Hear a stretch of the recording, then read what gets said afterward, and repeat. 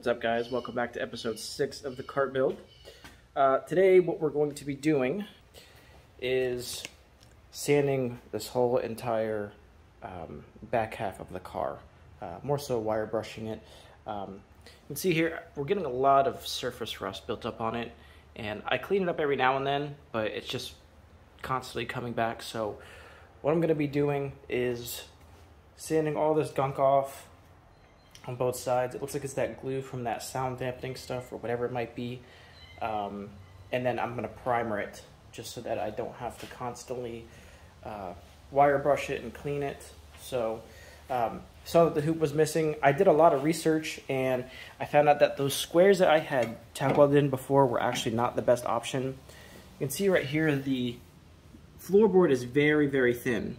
So you want as much um, coverage as possible. So I went ahead and cut some more base plates and just um, gonna go ahead and tack weld these back in here because uh, this is very, very easy to bend. And again, you want as much support as possible uh, for the main hoop. So today's um, today's work's gonna be sanding all this, primering it, uh, and then tack welding those in, and then getting the hoop back installed, and then we'll be able to move forward. So let's get started.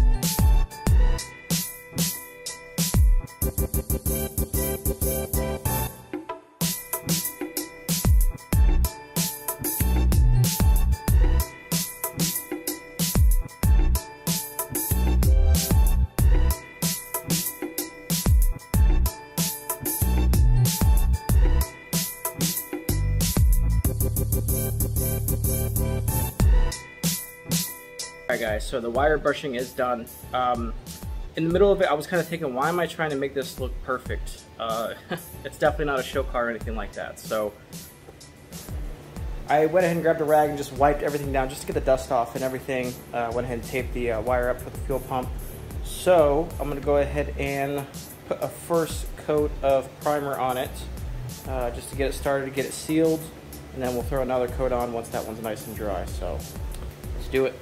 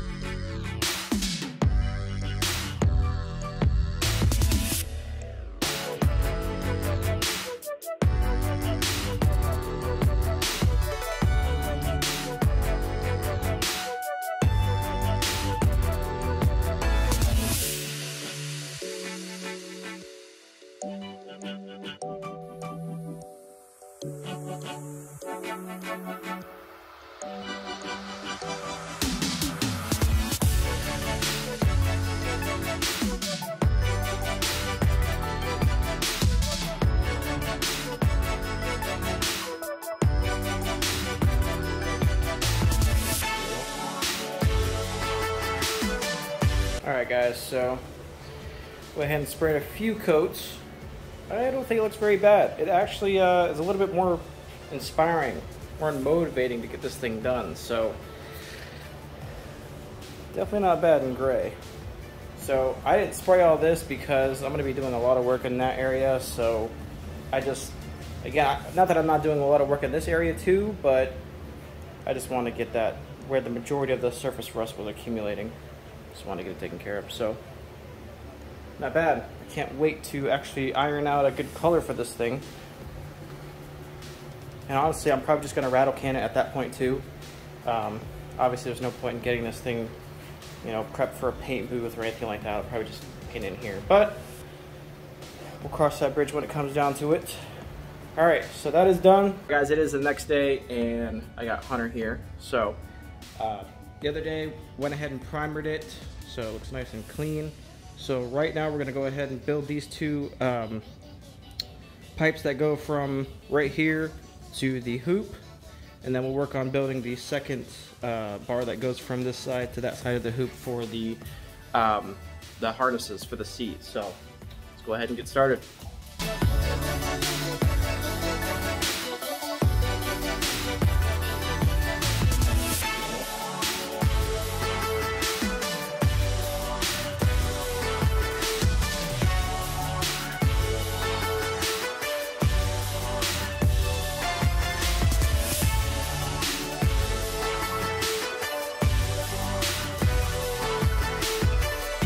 So this is a quick mock-up.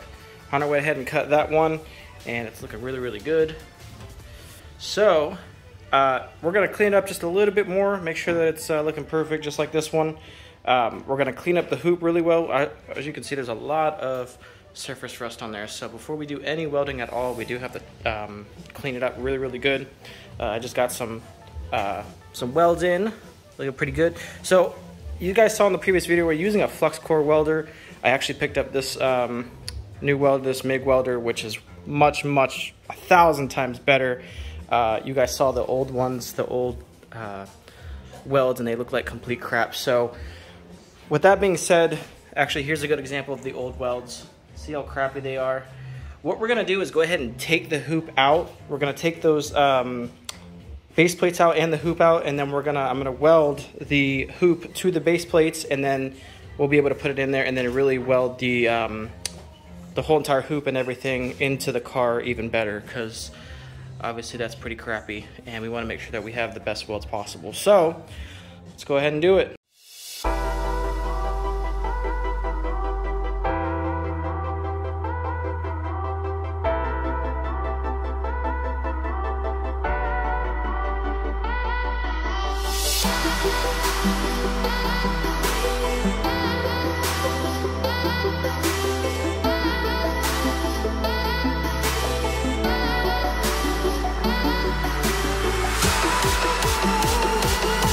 All right, guys. So we went ahead and got the uh, base plates removed uh, because we're gonna go ahead and re-weld them uh, to the hoop. So what we're gonna do is put um, a half a base plate here and a half a base plate here for more support, and we'll weld those to this right here.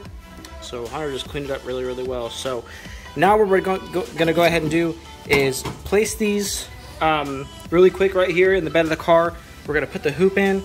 We're gonna mark exactly uh, where we need it. Actually, you know what? I'll just tack weld it in and we're gonna uh, take it off of the car and I'm really gonna weld them in really, really well, uh, the hoop to the base plate because if I put the uh, hoop in right here, I can't weld the back end uh, very well. So we're gonna take that out right now, weld the hoop to these right here, and then we'll move forward. So let's do it.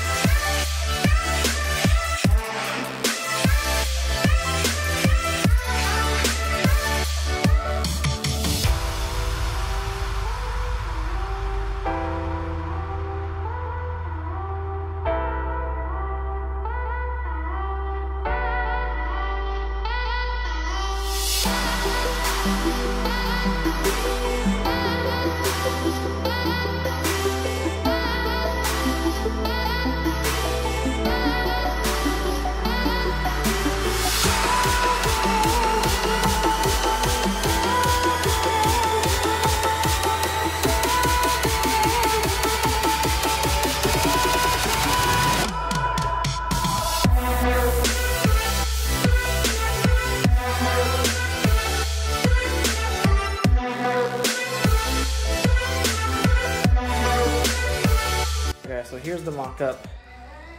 So got both of those in, so they look great, they match up great. Um, we went ahead and took those off and cleaned it up really, really well so that we can get some better welds in there. So not gonna weld it in just yet.